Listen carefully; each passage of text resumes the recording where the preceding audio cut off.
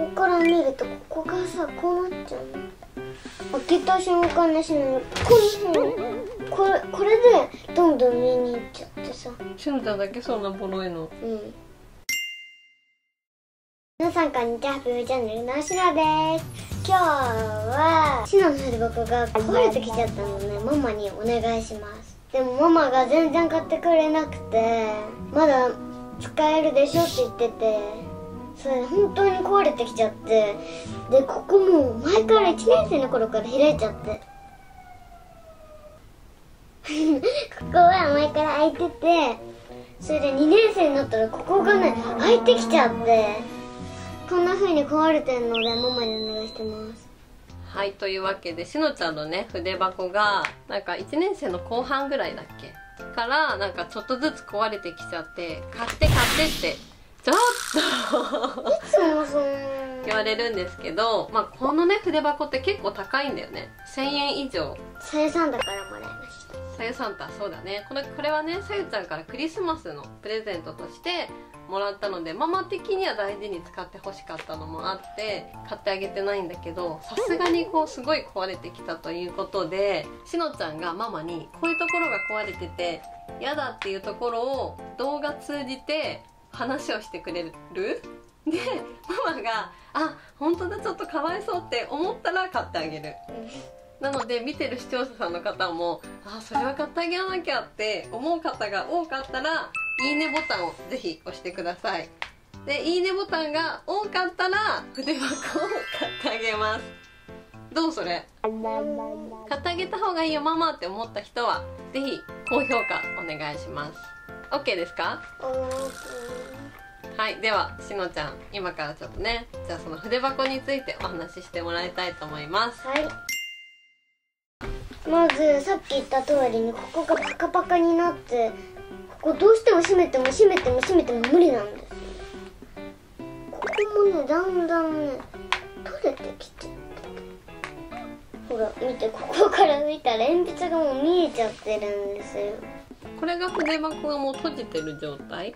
そうそうそう頑張って閉じてんのに。でもこれ通せばほらなんとかなるかな。見せて。ほら治った。こそこ開くからだよ。そこ押しといて。ほら治った。あとはどとりあえずこですかここここここ割れてこうパカってなっちゃったの。でそれでこれほら見てください。ネジっていうかこのパーツが壊れちゃってこれを前はあのどんどんこうここが2年生の時に壊れてきてそれ授業中にパカって開けたらどんどんガクってなってこれがボボッてでそれでつけたんですけど全然開けてもできなくて。でもほら開くからさ消しゴムはしまえるじゃん。うん。だから大丈夫じゃない？でもさここカカってなってさそれがひどいなんかこうやってたらさなんかこれが上に行っちゃってさちょっと嫌なんだよ。あとは？あとねここあるじゃん？ここから見るとここがさこうなっちゃうの。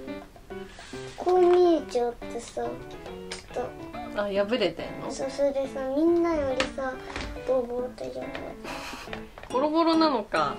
そう。ちょっと見て。こんな感じでここがめくれて中のねなんか厚紙みたいなやつが見えてたりここもちょっと破れてる感じらしいです。まあここがねもう浮いてる感じらしいです。で後ろはこんなもうキラキラとスポンジと厚紙。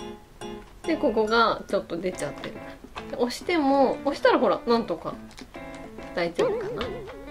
感じになってます。開けた瞬間ねしのこんな風にこれこれでどんどん上に行っちゃってさ。うんこんな感じでさ。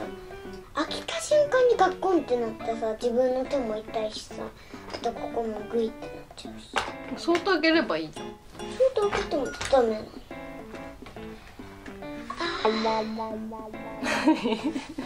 はあって何？そこ触らなければよいんじゃない？これ上に上げれば。うん。ほら閉まった。この後ろ側は大丈夫なんですけど、うんうん。あんま開けないからか。そこにこの赤色と青色の色鉛筆を入れてたみこたい。れは直し？直しよ。青ペンでうん。よいしょってやって、うん。これは直しとか丸つけて。そうかじゃああまり使わないからこっち側は綺麗なんだね。はいじゃあ結果的にはここなのか。あそっか本当だ。持ち上げただけでこんな。パカパカになっちゃうんだね。こっちが開くとこっちが。皆さんのいいねの助けが必要です。皆さんお願いします。みんな押してアマに平場が買ってもらいたいと思います。これ以上のボボの人いないってこいない？といない嘘一人もいない。みんな綺麗な筆箱使ってんの？うんなんかねシナが夏休みの時ってちょっとみんな筆箱出してる子が多いの。それ見たら全然ボロボロにくいの。はい、今日はこんな感じの私の筆箱の紹介でした。それではまた見てね。バイバイ。お願いします。